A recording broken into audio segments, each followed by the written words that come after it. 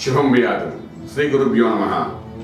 వృషభ లగ్నానికి కన్యా లగ్నానికి అనుసంధానం చేసి వివాహ పొందగా చేయగలిగితే వృషభానికి భాగ్యాధిపతి ఎవరైనా మకరమై ఉంటే కన్యకి భాగ్యాధిపతి ఎవరంటే వృషభమైంది వృషభానికి భాగ్యాధిపతి అయినటువంటి శని మకరానికి కన్యాకి భాగ్యాధిపతి అయినటువంటి శుక్రుడు వాళ్ళిద్దరూ మళ్ళా మిత్రులే. శుక్ర శని కలియక అనేది విపరీత రాజ్యం కూడా వచ్చే అవకాశం. ఉంది అంటే రాసుల గురించి మనం మాట్లాడుకుంటాం ఇంకా గ్రహాలు ఎక్కడున్నాడు అని అంటే వృషభ లగ్నం వాడు కన్యా లగ్నం ఉన్న అమ్మాయిని కానీ చేసుకోగలిగితే వాళ్ళకి భాగ్యస్థితి పంచమ స్థానం సప్తమ భావం అన్ని అనుసంధానమై ఎటువంటి ఇబ్బంది లేకుండా చక్కటి పరిస్థితి వెళ్ళక అవకాశం ఉంది. దీనికి తోడు ఇంకొక విషయం కూడా ఉంది. విశేషం ఏంటంటే రాజ్యం కూడా చాలా అద్భుతంగా ఉంటుంది.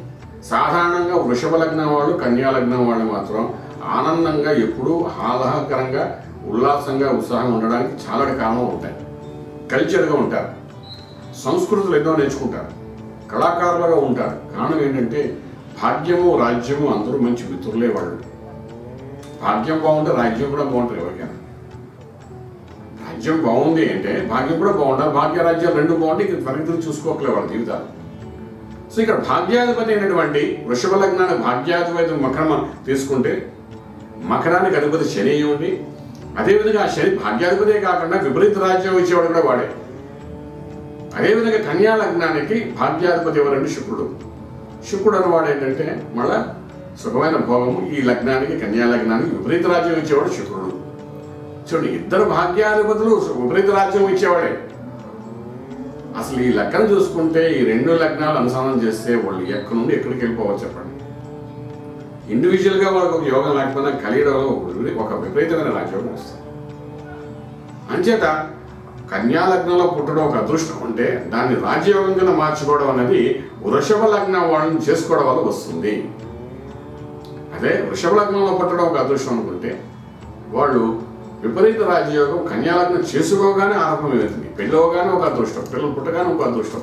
అసలు వాళ్ళకి లెక్కలన్నీ అలాగా ఏదో అమర్చినట్టుగా జీవితంలో అన్నీ జరిగిపోతాయి. అంటే వృషభ లగ్నం కన్యా లగ్నం వాళ్ళు మొత్తం అన్ని లగ్నాల కంటే చాలా అదృష్టవంతులు చెప్పడానికి అవకాశం.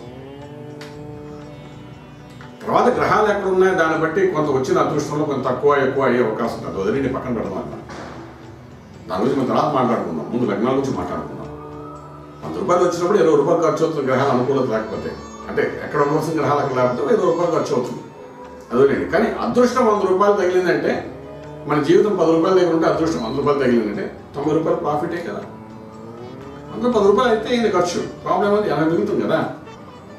అట్లా అనుకుంటే అలా పాజిటివ్ థింకింగ్లో అలా వెళ్ళిపోవాలి జాతకం అంటే ఇంకేం లేదు. ఇలాంటివన్నీ అనుసంధానం చేసుకుంటే ఎవరైతే ముందుకెళ్తారో డెఫినెట్గా విపరీత రాజ్యోగం ఉంటాయి కాబట్టి విపరీత రాజ్యం అంటే ఏంటి? అను ఊహించినది అనుకోనిది తన జీవితంలో ఏ లక్ష్యం ఉందో ఆ లక్ష్యాన్ని త- అతి సులువుగా సునాయసంగా రీచ్ అవుతూ రాజమార్గంలో వెళ్ళేది విపరీత రాజ్యం చెప్పాలి. సో అటువంటి పరిస్థితి ఉంది కాబట్టి ఎవరైనప్పటికీ కన్యా లగ్నం వాడు వృషభ లగ్నానికి వృషభ లగ్నం ఉన్నవాడు కన్యా లగ్నాన్ని ఉన్న అమ్మాయిని అబ్బాయిని చూసుకుని ప్రయత్నం చేస్తే ఖచ్చితంగా వాళ్ళకి సత్ఫలితాలు ఉంటాయని చెప్పగలుగుతాం. శుభం విరాట్.